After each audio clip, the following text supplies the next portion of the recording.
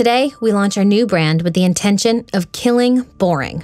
We aim to be united while simultaneously encouraging individuality. Because here at CompEdge, we don't believe in rules and restrictions. We believe in establishing a vibe, a flavor, a feeling that is CompEdge. We want to take advantage of our freeing culture and create.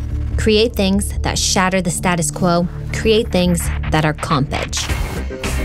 So here it is. The hexagon is our visual center.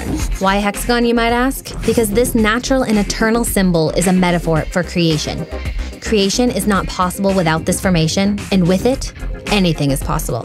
It is a gentle reminder that it takes individuals working together to create something greater.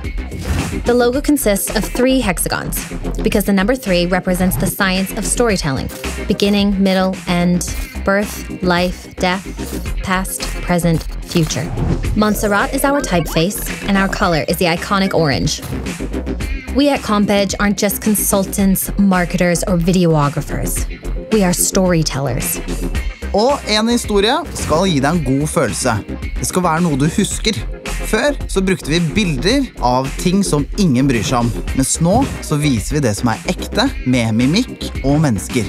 Kanskje viktigst av alt det er våre mennesker. Tidligere så la vi ikke ned så mye energi i hva slags musikk vi brukte i videoene våre heller. Skru av det tullet, Lars! Mens i dag så tenker vi på hver eneste diskant, basslinje og rytme. We've thoughtfully chosen not to blend in with the crowd, but to stand out from the crowd.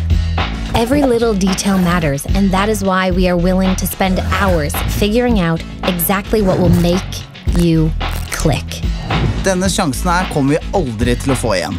Vi elsker å skape historier som du vil huske, lære noe av og ikke minst ønske å snakke om. Vår nye identitet er ikke bare et symbol, men det er også en forpliktelse om at vi kommer til å fornye oss hver eneste dag. We've created a simple identity that can be scaled infinitely.